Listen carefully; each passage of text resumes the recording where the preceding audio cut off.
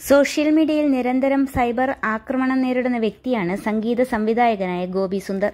ഗോപി സുന്ദറിന്റെ വ്യക്തിജീവിതം എപ്പോഴും വിമർശനങ്ങൾ ഏറ്റുവാങ്ങാറുണ്ട്. ഇപ്പോഴിതാ വിമർശനങ്ങൾക്ക് വഴികൊടുക്കാതെ കമന്റ് ബോക്സ് ഓഫ് ചെയ്ത് സുഹൃത്തിനൊപ്പമുള്ള പുതിയ ചിത്രം പങ്കുവച്ചിരിക്കുകയാണ് ഗോപി സുന്ദർ. തങ്കപ്പൻ ലവ് എന്ന അടിക്കുറിപ്പോടെയാണ് ചിത്രം പങ്കുവച്ചിരിക്കുന്നത്.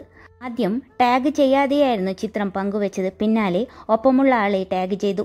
അദ്വൈത പത്മകുമാർ എന്ന പാട്ടുകാരിയാണ് താരത്തിനൊപ്പമുള്ളത്. പച്ച നിറത്തിലുള്ള ടീഷർട്ട് ധരിച്ച് വളർത്തുനായയെ കയ്യിലെടുത്തുകൊണ്ട് ഗോപി സുന്ദർ നിൽക്കുന്ന ചിത്രമാണ് പോസ്റ്റ് ചെയ്തിരിക്കുന്നത്. സുഹൃത്തിനെ ചേർത്ത് പിടിച്ച് മറ്റൊരു ചിത്രം ഇൻസ്റ്റാഗ്രാമിൽ ഗ്രീനി ഡേ എന്ന് കുറിച്ച് സ്റ്റോറിയാക്കിയിട്ടുമുണ്ടായിരുന്നു. കഴിഞ്ഞ ദിവസമാണ് പ്രിയ നായർക്കൊപ്പമുള്ള ചിത്രം പങ്കുവച്ചതിന് ഗോപി സുന്ദർ സൈബർ ആക്രമണം നേരിടേണ്ടി വന്നത്. ഇരുവരും തമ്മിലുള്ള ചിത്രത്തിന് താഴെ വളരെ മോശം കമന്റുകളാണ് ഉണ്ടായിരുന്നത്. ഇനിയും അത്തരത്തിലുള്ള മോശം കമന്റുകളിൽ നിന്ന് ഒഴിവാകാൻ വേണ്ടിയാണ് ഇത്തവണ കമന്റ് ബോക്സ് ഒഴിവാക്കിയതെന്നാണ് ആരാധകരുടെ കണ്ടെത്തൽ. അതേസമയം ഗായിക അമൃത സുരേഷുമായുള്ള ബന്ധം അവസാനിപ്പിച്ചെന്ന അഭ്യൂഹങ്ങൾക്ക് തൊട്ടു പിന്നാലെയാണ് ഗോപി സുന്ദറിന്റെയും പ്രിയയുടെയും ചിത്രങ്ങൾ സോഷ്യൽ മീഡിയയിൽ വൈറലാകാൻ തുടങ്ങിയത്.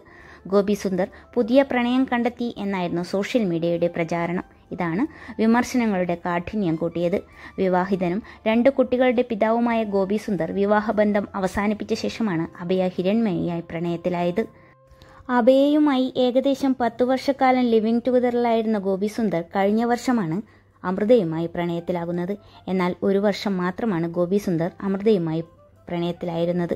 പിരിഞ്ഞതായി ഇരുവരും ഇതുവരെ തുറന്നു പറഞ്ഞിട്ടില്ലെങ്കിലും കഴിഞ്ഞ കുറച്ചു കാലമായി ഇരുവരെയും ഒന്നിച്ച് കാണാറില്ലായിരുന്നു.